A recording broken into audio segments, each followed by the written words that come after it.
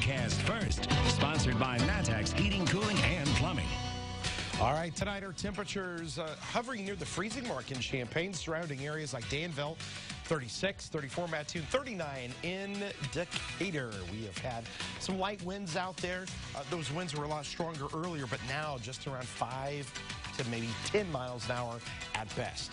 Clear skies, lots of sunshine that we had on your Wednesday. We will carry that into your Thursday. Your Thursday's looking really nice but there are some changes coming our way for next week. Let's get the kids out the door at the bus stop. 28, a little chilly to start off with, but a nice warm 47 degrees on the way home. Coming back, we're going to talk about the big drop in those temperatures and when it arrives coming up. WCIA 3 News starts right now. Now from WCIA 3 News. What we're trying to do is expose them to new new adventures in life. Police say one teenager is a person of interest in recent shootings, and one group says they're trying to help teens like him before it's too late. Plus, a woman's accused of driving her Jeep off a bridge and onto the interstate, where authorities say she's expected to land next.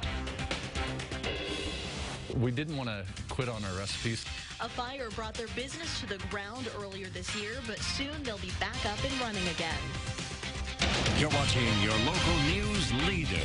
This is WCIA 3 News at 10. Sad. It's, uh, it's, it's heartbreaking.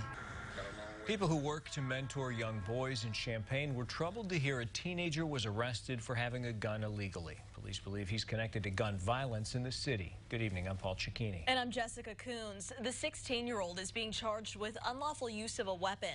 Police arrested him near Garden Hills and Holly Hill Drive. They say he had a sawed-off shotgun in the home. WCIA3's Jennifer Jensen is in our newsroom tonight. So, Jennifer, what else do we know? Jessica police are investigating him as a person of interest in recent Champaign shootings, but no charges have been filed. However, officials say he's not suspected in the most recent shooting of a 10-year-old boy who was hit by a bullet in his home. But this is the reason people in Champaign have created programs to help mentor young people to turn away from violence. It's been a year filled with gun violence in Champaign. We're having more of our gun violence happening. The, it's like our victims are getting younger and younger, um, and, and it's just it's tragic. There have been more than 90 shootings so far, compared to 76 total from last year. Most recently, a 16-year-old boy was arrested for illegally having a sawed-off shotgun and believed by police to be connected to multiple shootings. It just lets you know how far um, our community has failed. Um, I believe it, we need more adults out here to help with the kids. It was disheartening for Carlos Harvey to hear about what the teenager is accused of. Harvey is a life coach for a program called Boys to Men. They mentor young boys from 6th to 12th grade.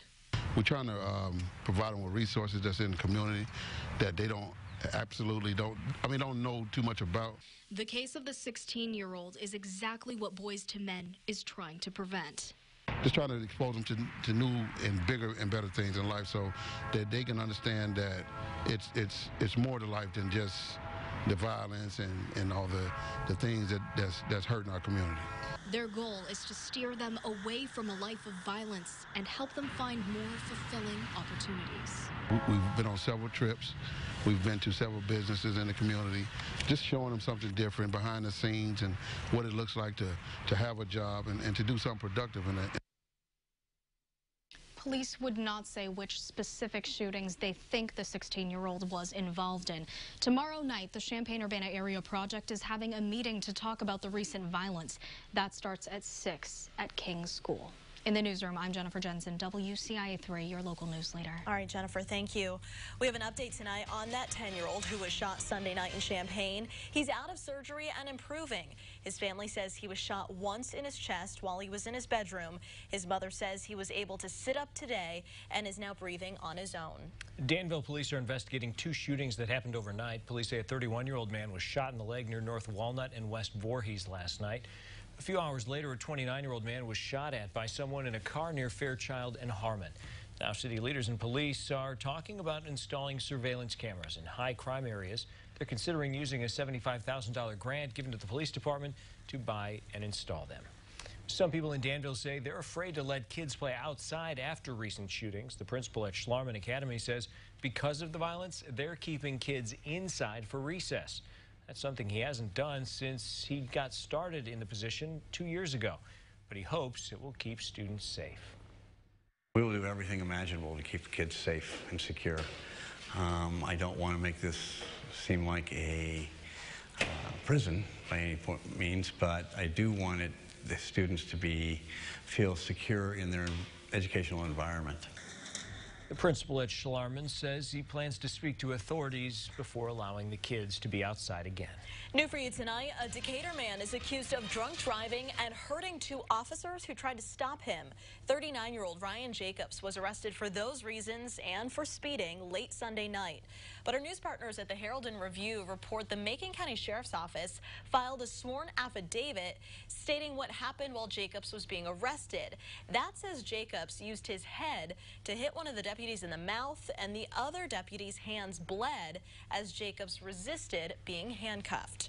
We have new details on a woman who police say launched her Jeep off an unfinished bridge in Champaign.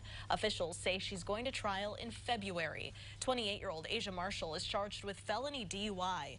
In court today, a state trooper described how he found her car and the extensive injuries to her passengers. In September, police say she drove the Jeep through a closed construction zone on Bradley Avenue went airborne and landed right next to 57, stopped only by that concrete barrier. Her blood alcohol level was almost three times the legal limit.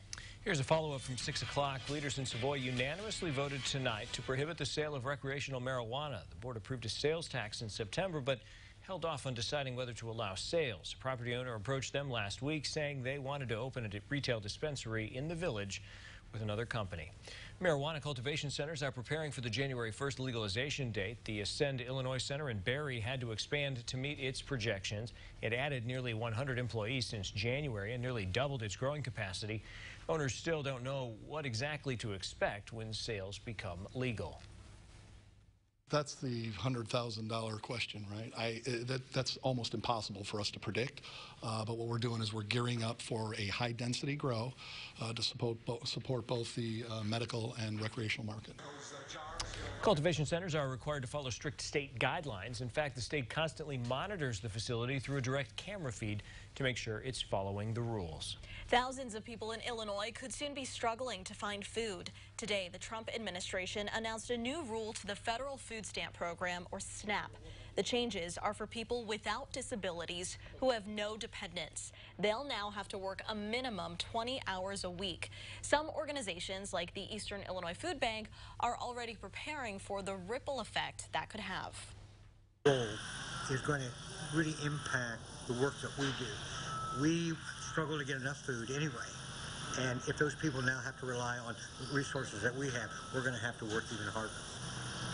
SNAP sets time limits on how long people can receive help. It's usually three months if the person is not working or going to school, but that rule was able to be waived in counties where unemployment rates are at 2.5% or lo lower. The new rule raised that percentage to 6 New at 10, the Urbana Park District is planning on building a new indoor health and wellness center. The concept includes basketball courts, fitness rooms, and a playground to be built at Prairie Park. Tonight, they invited the public to give their input on the design and what they want inside. Recreation as a whole is beneficial to the community and, and, socially, physically, and emotionally. And there's really not a good place in Urbana, uh, specifically through you know our park district as well, to provide you know health and wellness opportunities for people. This would cost between six and eight million dollars. The Park District refinanced some bonds to pay for it, and they're applying for a state grant of two and a half million dollars. If they get that grant, they hope to break ground in 2021.